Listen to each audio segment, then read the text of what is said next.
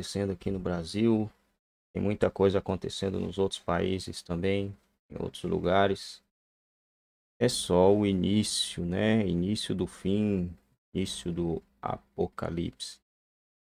Algumas pessoas podem rir, podem não acreditar, mas é a realidade. Basta dar uma pesquisada aí nos noticiários sobre isso que eu estou falando em outros canais aí que vocês vão ver os rumores e as guerras que estão para acontecer, acordo de paz.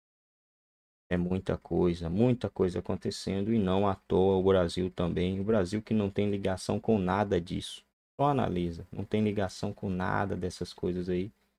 Olha o burburinho que está no, no Brasil. Está faltando diesel, daqui a pouco vai faltar comida. É, a Petrobras acabou aumentando aí os, um pouco os combustíveis, senão a gente ia chegar numa situação muito sinistra, muito estranha, proposital, gente, tudo isso é proposital. Tudo isso, não é porque o governo ele é bobão, ele é burrinho, não.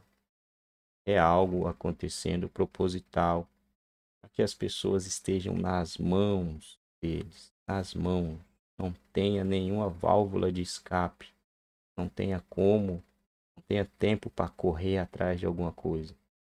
Coisas são propositais para o controle de massa que será necessário nos próximos anos. E tem que ser em todos os países. E para acontecer isso, os governantes têm que serem todos comunistas. Olha o que está acontecendo no mundo afora, né?